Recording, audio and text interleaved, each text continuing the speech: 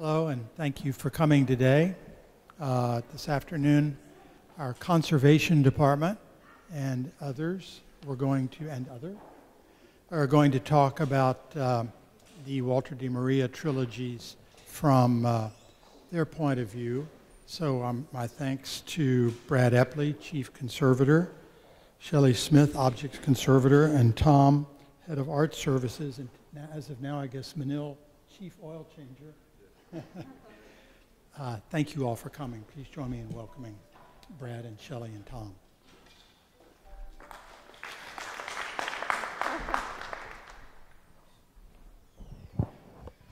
So thanks everyone for coming. Tom and I are going to share this mic, um, so if you have any issues hearing us, please just let me know and we'll try to maximize it. Um, so during the course of fabricating and installing these works, the three of us had the opportunity to work um, directly with the artist and in close proximity with the artwork. And we thought this afternoon, over the course of 30 minutes or so, we would um, share with you some of the aspects of the fabrication, transportation, and uh, installation of these artworks, um, as well as some of the anecdotal information we gleaned from our talks with Walter to maybe give you an enhanced understanding of the physicality of these artworks, um, also an idea of the subtlety and degree of detail with which Walter works in every medium, and finally, some idea of the conservation aspects um, that come into play when thinking about preserving works of art such as the Bel Air trilogy, which incorporate, um, for lack of a better term, found art objects, uh, in, this, in, this, case, uh, 1955 Chevy Bel Airs. Um, while we're in the foyer, I thought I would talk first about the paintings. As a paintings conservator, those are the ones with which um, I have the most um, direct contact with Walter. Uh, as some of you may know, uh, The Color Men Choose When They Attack the Earth uh, is a painting from 1968. It entered the Menil collection in 2006. Shortly after we acquired it, Walter came down and we had a series of conversations about the condition of the painting at that time.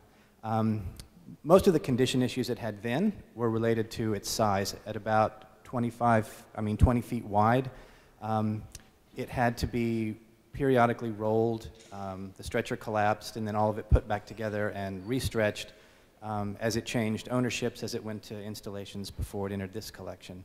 So because of that, it had several um, cracks and some deformations of the canvas, and also the stretcher was really designed to be um, easily taken apart and was not designed so much for with the stability of the painting in mind.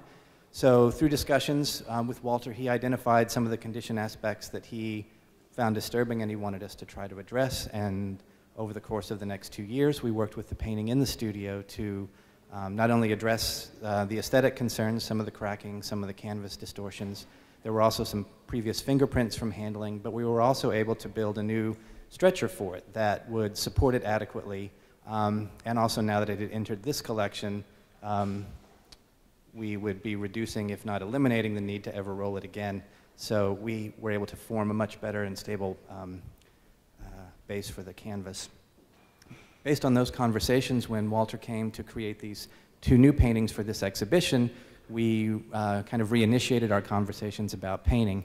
Um, he was very much interested in creating um, new paintings with a similar surface quality to the old painting. He wasn't interested in making something new and distressing it to match the old one, but in terms of gloss and um, other aspects, he wanted them to be harmonious with each other. So um, both in New York, uh, while he was in New York, we had several email exchanges, and then over the course of some trips to New York, we evaluated some paint outs where he had adjusted the gloss of the paint, the thickness of the paint layers. Um, again, he's very concerned with degrees of subtlety, and I think that's why all of his artworks are, um, give the perception of, of perfection. Um, and, and it's because of those fine tuning of details. And he is clearly interested in the nth degree of the materials that go into a work of art. So we spoke um, ultimately about, you know, made decisions about the thickness of the paint, um, the amount of gloss medium to um, make the degree of finish, the matteness or the glossiness similar to the pre-existing painting. Um, and also the thinness um, of the paint layer. He was very interested in the fact that the canvas show through, that these be um, clearly identifiable as paintings and not just some kind of painted uh, surface. The same attention to detail also went into the fabrication of the plaques. We had lots of discussion about the degree of polish, uh, the size of the fonts, the depth of the engraving. Um, it was really interesting, I think, to, to see him with all of these different um, options available to him and uh, him sorting out the, uh, the different degrees or the aspects or the physical qualities of each of these that, that he felt was, was vital to the work and ultimately resulted in the, in the paintings that are here. Um, in addition, just one final thought about, um, in addition to all the details about the material aspects of the painting, he was also very concerned about the shape or the composition of them. While both paintings are in themselves individual paintings, their outside dimensions were determined by this space and by their relationship with this painting.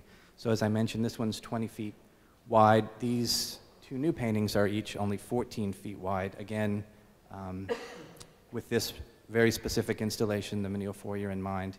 Um, the heights have been maintained the same, but um, it's that balancing again and the fine tuning of details, I think, that of every aspect of the construction of these that, that comes through in this installation.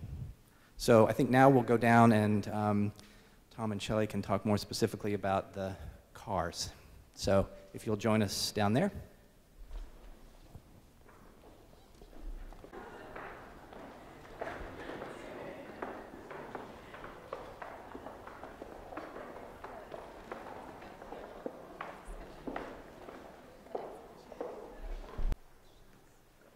One other um, point I wanted to emphasize before we go on is um, while Walter was very interested in talking about the material details of his artwork, he's not interested in talking about interpretation or intent, those kinds of issues. Um, and I think that'll come out as we talk a little bit more about um, the cars itself. So the conversations we had were about, um, in talking with Walter about material choices, the, the final decision was always Walter's, and the application is always Walter's. He's just, because he was working remotely, trying to um, match the similar, or trying to have the paintings be similar in certain features with the one that exists here, we had these degree of conversations. But um, again, he, he's a highly engaged in the materials um, specificity of these works. So I'm going to pass over to Tom now, who'll talk about certain aspects of their transportation and um, installation. Um, these were sort of an interesting challenge for us because while we have a number of very large works and sculptures in the collection, um, most of them come in smaller parts and uh, or are packed in crates or you know generally shipped and handled in a very different manner than these. Um, the big problem we first realized was due to their size, how do you get them in the building? Um, because they are 16 feet long and 8 feet wide. And, um, and they're nothing but surface. There's, there's nothing to handle them by, essentially. And, uh, and luckily, because I think on, on um, one level, because Walter is so materials oriented and sort of detail oriented, um, he's also very pragmatic about the materials themselves. And so he, um, they never ceased in a way to, they never ceased, oh, there we go, never ceased in a, in a way to um, uh, no longer be what they are, which is they are 1955 Bel Airs. And so um, the happiest day, I think, in the planning of this show for me was when I was told, of course they can roll on their wheels. They have wheels. And uh, that made everything, I think, much easier for us. Um, however, they did ship here on uh, basically on a car carrier, on a private car carrier, and um, which is very different than how we normally do things. So we had to uh, unload them on Mandell, just on the other side of this wall, and roll them in. Um, but because of their size, they actually wouldn't fit through our front door, so we basically had to arrange for contractors to come and for, I guess, about the span of five minutes, remove the front doors so that we could bring them in. Um, and then because they're each approximately 3,000 pounds, um, there's an issue of weight load distribution through the building. And uh, whereas this gallery, because this was always envisioned as the, as the regular uh, changing exhibition gallery, is, is a reinforced um, area, our foyer is not actually built for that. So we had to sort of disperse the cars about the, uh, the foyer and the hallway so that we didn't have too much weight in one area essentially straining the floor. Um, and then we were able to bring them down here. Again, because of the size of the, of the sculptures and the size of the door, we had to take off parts of the doors and actually lift them off their wheels to maneuver them in, to line up on the doorway and then push them through where they just basically just barely go through. And, um, and then because of the nature of the weight of their risers, um, the risers are basically all in place, so you have to kind of maneuver around the bases and then build what I keep calling an Egyptian ramp um, to actually roll them up onto, onto their bases. Um, so it was a very, very different installation um, than any I'd ever worked on before. Um, and luckily, I think it went absolutely as smoothly as possible. Some of you were, I think, here while we did that. And, um, um, and then from there, it was basically the, the longest part of it was basically getting all the details right, getting everything spaced and everything where, where Walter wanted it. And um, Walter has a, sort of a very mechanical and mathematical um, sort of problem solving way that's really kind of brilliant to watch because we got to see that over the course of the lead up to the show. And, and so he's very specific. And I think that, as Brad mentioned, that, that plays out with this sense of perfection in the work. And um, so, really, the hard part was actually just getting them finished once they were in place.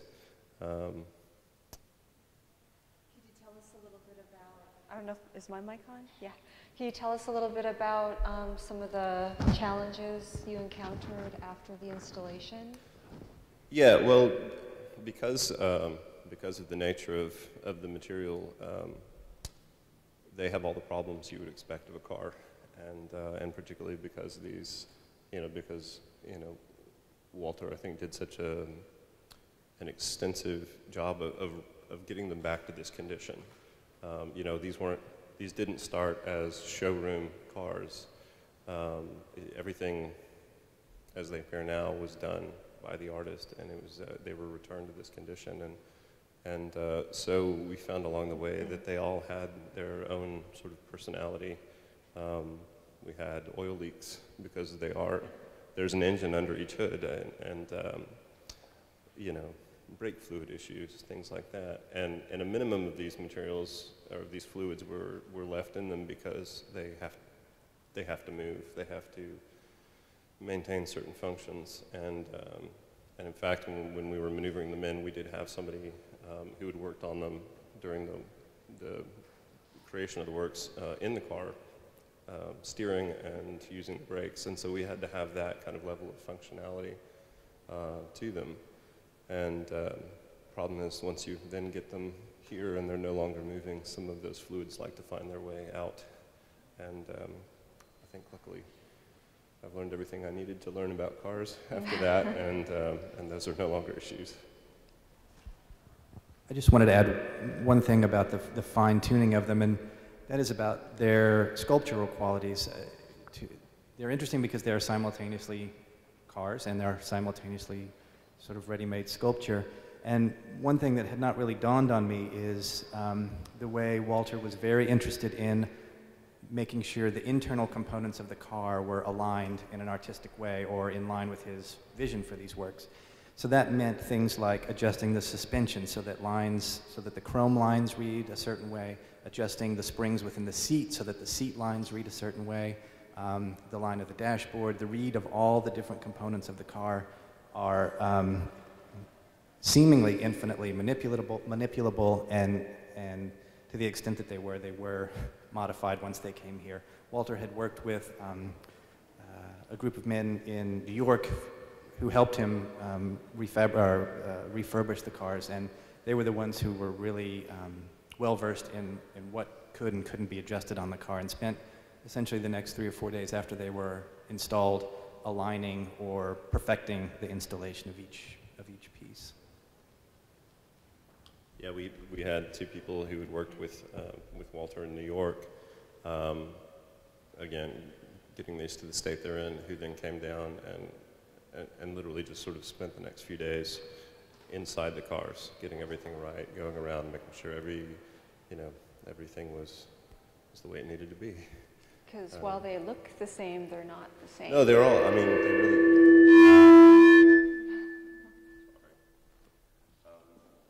as I said, still on? Okay. As I said, um, they do really have their own personalities, and it was sort of fascinating to see because at a glance they all seem like very much, you know, an addition, and um, and so it it was it's been a very interesting kind of journey with them, and um, So Tom had an opportunity to learn more about intimately when he got underneath the cars, the individual history of each car because they were, according to Brad, acquired at different points of time and obviously from different locations and different parts probably and, I, and. I think in different very different states. yeah. Um, so, um, I th- yeah, there was a lot of, I think, manipulation all around to get them to be what they are, to get them to be, you know, as as similar as they are. And um, I spent quite a bit of time under some of these. Um, it's just really not something I'd ever done with cars before. I'm not a car guy, and so this has been an, a learning experience. Um, Does anyone have any questions about the cars themselves? Or? Well, they're always so shiny. Does some little elf come in with a shiny each night and wipe them off? We, we dust them, but they're not outside and exposed to the normal elements. So the way they came in with their fin- surface finish is how they came in. And but they, but they get very dusty. So all we do is dust them off. Well, when they when they originally Oily. arrived, basically they looked they looked more like a sculpture of a car than a car itself because everything was wrapped other than the wheels and a one in- window I believe was left accessible for somebody to climb through like Dukes of Hazzard, and um, and because everything had to be protected in transit because that was when they were the most vulnerable, particularly because unlike most art they weren't shipped in crates, and um, so once they were all unwrapped, that was a, a large part of that, getting everything lined up and, and showroom ready. And since then, you all have dealt with uh, keeping them dust free. Yes. Um, and fingerprint free. yeah. The glass, the front glass and the back glass, is it glass or is it? It's not. It's not. It's um, exactly uh, because of um, I think b- the weight bearing and everything. They, I, I think Graham said hundreds of ones were built to get it right because they have to be precisely cut. What's the clearance between those, uh, penetrating? I, I think two of them are, are incredibly snug. I mean, less than a sixteenth of space. And then I think one, they had, uh, this one I think has a little more play in it. And it was uh, due to the fact that of the construction, I think, of the, uh, of the square rod itself. Um, because they were welded, because they weren't, they weren't cast, they were, um, they were welded. So there, I think, is heat distortion in, in that one um, that you can't really it's see torqued. unless you really try. Um, and f- Travel without that? they were traveled with these in place, yeah, and uh, which was great for us because that was, I think, our greatest fear is, Yeah. you know, having to feed those through. Um, And uh, people inside and outside and yeah, and, and I know um, one, of, one of the two uh, men who came down from New York to work on these with us um, uh, apparently did um, a certain degree of fabrication because there's no way really to use plastic to, you, you can't cast plastic, I think, in the same way that you can glass. And so um, I think they really had to work to make everything fit together the way it would if you were just using an original windshield. Um, And to get, yeah, to cut holes in those glass in, in original windshields, they would have gone through, they would have had to have found a lot of windshields and Yeah. gone through a lot of those, so. yeah. And polycarbonate uh, looks very convincingly like glass. It's used in airplane windshields, so it has a, the same uh, transparency and, and sharpness, uh, optical clarity. How- How old are these? How- When were they refurbished? Well, I think the refurbishment, um, the, the works were all finalized in the months leading up to the exhibition, so they are very fresh. And this is their first travel, Yes. Mm-hmm. so there's one more travel on the lead here. They have to leave mm-hmm. here, yeah. Yeah. You were saying that he owned one of these cars for quite some time and then acquired the other two later? Um, he hasn't said whether personally he actually. Oh, no, no, I think as, as far as the actual sculptures, he, yeah, I believe he For he conceiving of purchased the two of them, I think, originally. The idea, I think, is m- much, much older than I, I'd realized, and, and he was able to find two of these, I think, about 10 years ago, he said. And then about the time we started talking with him about doing this exhibition, he was able to find the third, and so he was able to, to make that really the focus of, of what he wanted to do with the show. Um, so I think it was an idea he'd had years and years before he actually found them, and then, so it was a long time in the making. Carl, did you have Do you know anything about the color? Um, I mean, was that a standard It- combination? It, it it is. There were, I think, eight two-tone um, color options in 55. Still available, these paintings that we fixed on? That, I, that you might know a lot more about. My guess is it's a custom mix based on, um, on the original colors of the cars. I think so. I remember that was one of the problems they were having, was making sure that they all matched, and that they all matched what would have been originally available, because through their lives, they've been repainted, or they started, yeah, they are original. Or they are meant to ex- replicate the original. The question actually brings up another interesting, at least interesting to conservators, the idea of um, ready-mades and how you preserve those through time. For the cars, we have the good fortune of there being a kind of whole sub-industry and culture of classic car enthusiasts. So a lot of these materials and parts we can guess will be available um, for a while at least, just because you know there's a wide body of people that are interested in keeping those things around. But Like the tires? like, like exactly the size tires, um, hubcaps, and other specific details of these cars. What happens as you get further and further away from the original time period of these cars is those components become rarer and rarer, and they have to be um, kind of one-off manufactured, which in some respects takes away a little bit of away from the idea of, of, of it being a ready-made or a, an industrial off-the-shelf component. But so these kind of considerations are always um, things that we think about uh, when we acquire works of art or when we're thinking about the longevity of components of, of works of art such as this. Anything special, you were talking about the perfection of the three seen together. Anything special about the inflation of the tires? You have to check those from time to time? Tom does? Yeah. Um, they're actually overinflated so that they have uh, a particular look. Um, I believe all but one side of one of these are at 50 psi, which is considerably higher than its actual Are travel. they leaking out one over the weeks? They've actually been really consistent because the environment, you know, there's so little fluctuation in temperature here. Um, uh, definitely, if, you, if they were outdoors, it would be. Or driving down the highway? Yeah. um, so they don't go through the heating and cooling process your tires on your car do, and so they've, they've been very stable. Uh,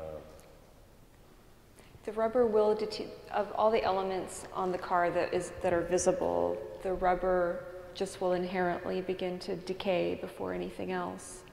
So keeping them inflated is also really important to preserve them as well. So Out of the sun. out of the sun, yeah.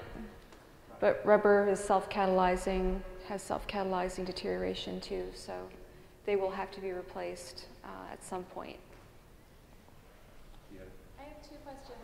Um, one is about the restoration. Are they restored only aesthetically, or could these cars actually be driven? They're fully They are? functional, yeah. Okay. If you And put all my- the fluids in them, they're, they're fully functional. Okay. And my other question is about sort of, it sounds like the Menil had a large role in the, maybe not the conception of these works, but in commissioning them and maybe funding them. Um, is that, would you say that these works were commissioned, and is the Menil acquiring them, or what's the Menil's role?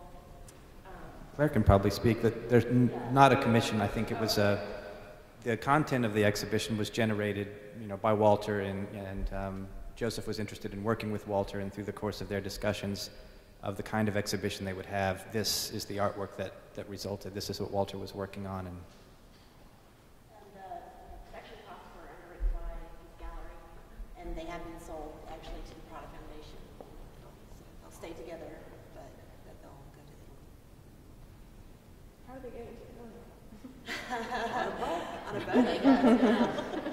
Yeah, I think that's all still being worked out. Yeah. I think they're actually, the plan is to crate them. They didn't come here crated, but because of the number of steps, you know, many more steps involved in getting from um, here to Italy as opposed to New York to Houston. So they'll actually be crated like regular artworks are crated in um, three enormous crates. Um, so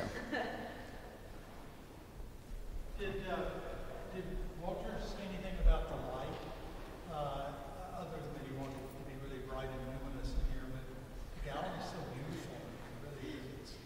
It's, not like there are dark pockets with uh, floodlights on the cars or anything, it's, it's even and, and very nice. uh, Walter and Brooke Stroud, our exhibition designer, um, yeah, spent a long time lighting essentially the space around the cars as well as the cars themselves. So um, it's really a, a fully, um, it's an installation really. The whole space has been considered the lighting. Um, so it's the space that's lit and the artwork itself too. So, and there was a lot of uh, a lot of discussions about the quality of the light, the kind of light bulbs, et cetera, that went into creating this particular wash of, of light on the walls. This, I think, um, I think this is also the first time in about as long as I can remember that we've had a full open skylight ceiling. Because of the nature of the, the ceiling, you can get a lot of natural light and it can get very brightly very quickly. And um, artwork is inherently light damageable. Damaged by light. And uh, so this is, I think, the first time we've ever had all, all the skylights open, plus the, uh, the upper windows, um, which have, in the entire decade that I've been here full time have never been opened. Um, it was really, I mean, Walter really, he had, he had as specific an idea of lighting as he did for everything else for the pieces. And uh, so, Yeah, so it's one of the short-term compromises that we make. Normally, a gallery would be a dark space, but um, this is a fairly short exhibition, and it was important, the lighting was important to the artist, so, well, and I think he, he didn't want it to look like a showroom. It- He didn't want it to look like an auto show where the cars are so well lit and nothing else really seems to be there. And that wasn't. He didn't want everything to break down to these individual sort of little gems in a space, and, and it was very much about the space they're in. So. Anyone else questions or? One more question. You talked about the ma- mathematical perfection of Walter. Any commentary about the odometers? Since he had to refurbish everything, did he reset them or reset it or Oh. something? Actually, you know, I have no idea. I have I have never looked at it. Um, I mean, just leave them as they were found and stop running and left odometers at that point? I, re- I really know. couldn't say. I don't know. Yeah, I would actually have to look in there and see. Um, I, I would, in a way, I would be surprised if uh, if they're not all the same, because I think probably so much uh, went into the sort of vitalizing them that they might very well have new matching. we don't, we don't know if the odometer matches the engine in the car, or if they were, yeah. One of them is uh, manual and two are automatic. We did notice that due to the help observations of Katrina Bartlett over here.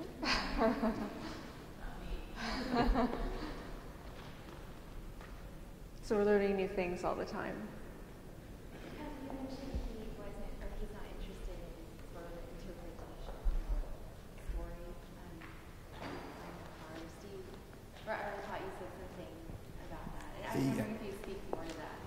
It's, it's not that he's not interested. He, he doesn't want someone, someone else's interpretation, even his own, to, enter, to be part of the consideration of it. It's, it is about, it's the artwork that speaks for itself. So it more about the individual connection. I was just wondering if there was a, a philosophy you spoke to. Um, Claire, do you want?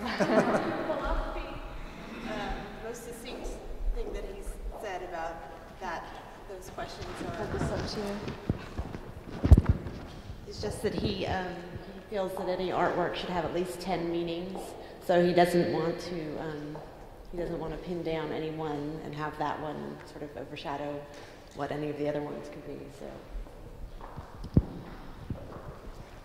thanks, Claire. So, if there aren't any other questions, um, thank you all for coming, and um, yes, we'll also be here if you have additional questions off the mic. So, and thanks again.